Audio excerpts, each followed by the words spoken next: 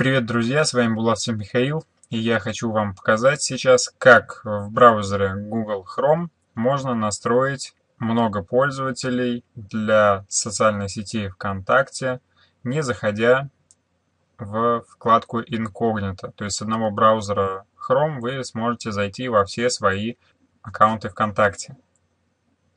Итак, что нам для этого понадобится? Заходим в настройки Google Chrome и выбираем графу пользователя. Нажимаем «Добавить пользователя». Для удобства я буду обозначать цифрами 1 и так далее, 2, 3, 4, 5, 6. Вы можете обозначать э, сразу же, как у вас аккаунты в ВКонтакте, в соцсетях э, будут называться. Итак, добавляем имя 1, убираем галочку «Создать ярлык для этого профиля на рабочем столе», чтобы кучу хромов у нас на рабочем столе не появлялось, и нажимаем кнопку «Добавить». Все, вот у нас добавился аккаунт под цифрой 1. Э, сразу же он хочет зайти в аккаунт Google. Нам этого не нужно делать, нам необходим только, ну, в нашем случае, аккаунт э, ВКонтакте.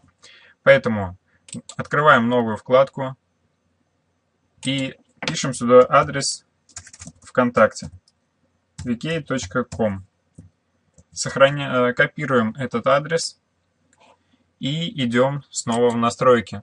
Сейчас объясню, для чего это нужно. Открываем настройки и выбираем графу при запуске «Открывать».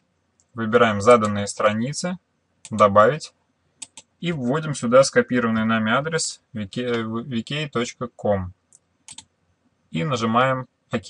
То есть э, можно добавить еще много страниц, то есть одновременно при открытии данного аккаунта по цифре 1 у нас может открыться сразу страничка ВКонтакте, ваша почта, э, которая оформлена для этой странички ВКонтакте, и еще какие-либо страницы. Нажимаем ОК. Можем сейчас для проверки закрыть наш текущий, наш текущий аккаунт 1 и как нам, нам в него попасть, как нам его открыть. Сверху, на какой вкладке вы не были бы в основной странице Chrome, у вас есть кнопочка с вашим именем, именем вашего основного аккаунта. Нажимаем на нее и видим, что у нас есть такая кнопка «Сменить пользователя». Нажимаем на нее и картинку мы не обозначили, вот у нас такой инопланетянин. Нажимаем на 1 у нас автоматически сразу открывается страница ВКонтакте.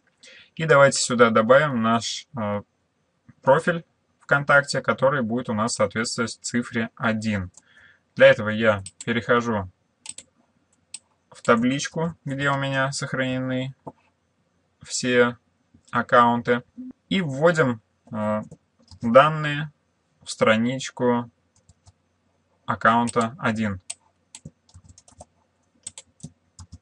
ввели, нажимаем «Войти», и в всплывающем окне «Сохранить пароль или нет» выбираем «Сохранить пароль».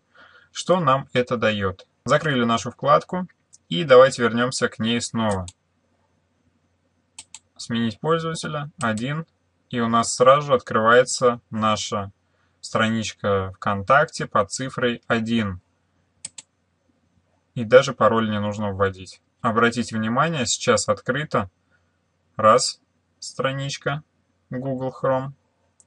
И здесь еще две, три даже.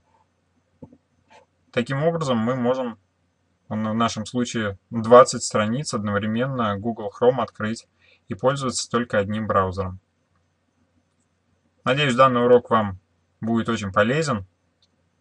Применяйте его в своей работе и будете работать еще быстрее, еще удобнее и еще эффективнее. С вами был Буласов Михаил. Спасибо за внимание. Всем удачи. Пока-пока.